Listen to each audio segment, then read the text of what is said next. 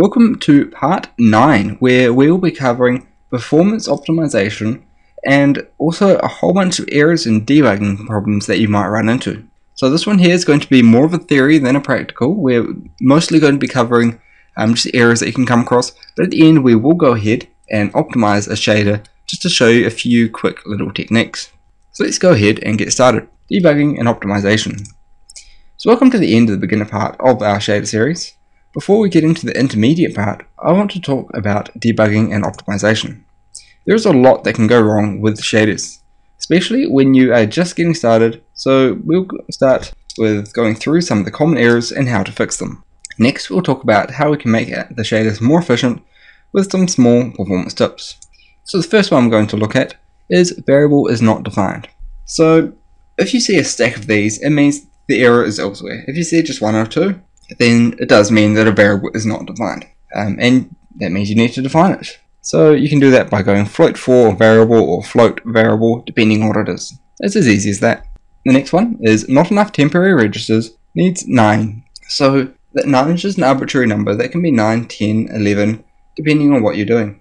And this just means that you have run out of temporary registers. A temporary register stores information for your shader. The more complex the shader, the more it needs. Fully understand this, you will need to read a lot of books on GPU programming, but in short, sometimes you just have to ditch that rim lighting or ditch compiling for Flash. Besides, if you are making a game for PC, why do you need to compile for Flash anyways? Arithmetic instructions of 64 exceeded, 64 arithmetic instructions needed to compile program. This one really does hurt. It means you have to upgrade from a shader model 2 to shader model 3. If it's a high number, you may have to go as far as 4 or 5. But a better alternative is just to remove that extra calculation. This is just how many calculations are being used and if you exceed that, you will need to cut down. Sometimes it can be easy as just moving around a function. Implicit cast from float 4 to float 3. Basically, somewhere in your code you're multiplying a float 3 by a float 4 or something, and Unity does not like it. But it's not going to tell you where it is. Remember how I always put float 3 mul a b dot xyz, or sometimes I omit the float 3, often when I'm working in Unity and not in Maya and just have that dot .xyz. If you don't have the dot .xyz's, if you just have multiply a float 3 by a float 4 and that's it, you will likely get that error. You may also have things like a float 3 1, which is still pretty bad, especially for DirectX 11, it won't work. You have to go float 3 1, comma 1, comma 1. Incorrect number of arguments to numeric type constructor.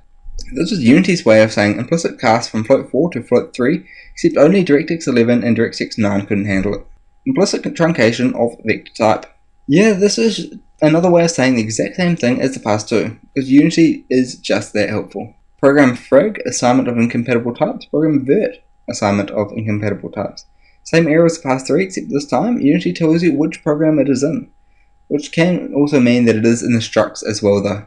Function return value missing semantics. I see this one a lot, usually it is fine, but all it means is you have something like float distance in your struct when it should have something like float distance is the text forward for semantic. So that's nice and easy. Put parameter O not completely initialized.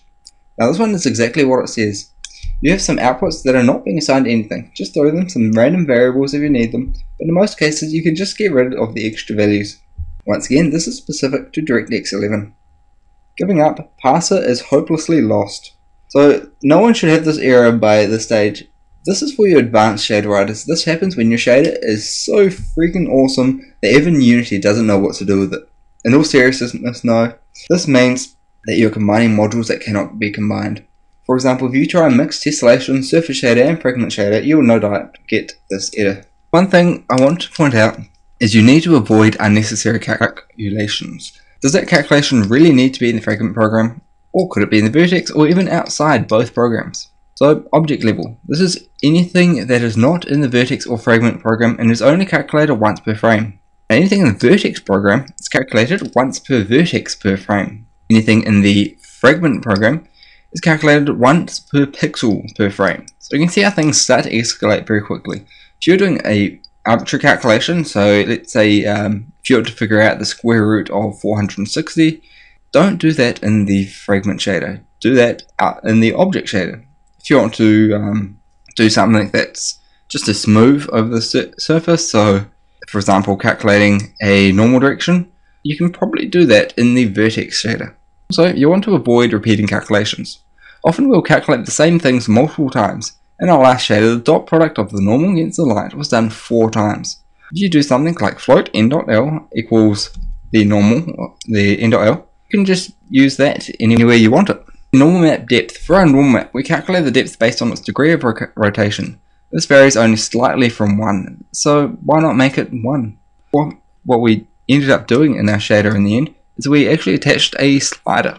Only create variables if you need them. If you don't need one, then it's acceptable, but you probably want to cut down on that last register. You can do things like, you know, uh, we have float3 light direction dot equals i light dir. Why not just use i every time you need it?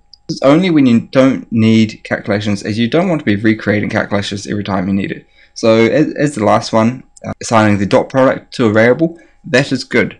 You don't want to recalculate that every time you want it. Okay, so let's take a quick look at float first halved versus fixed.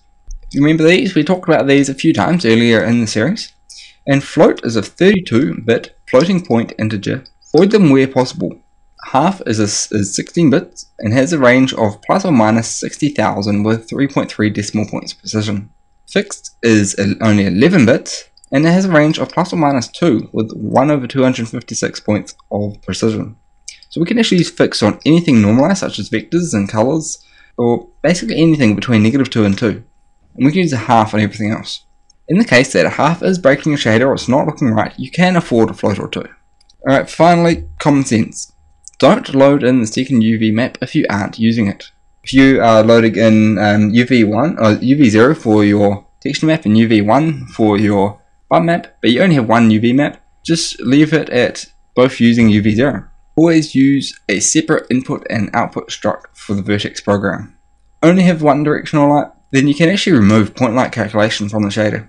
If you only have one light, you can remove the second pass. Have a shader that is off most of the time, just write two shaders. LOD shaders. If an if a object is far away from you, it doesn't need rim lighting and specular highlights. You can actually swap shaders in and out just like you would objects. Now I could go on, but in reality, common sense is really going to be your best friend. Practical exercise. What I'm going to do now is optimize our last shader.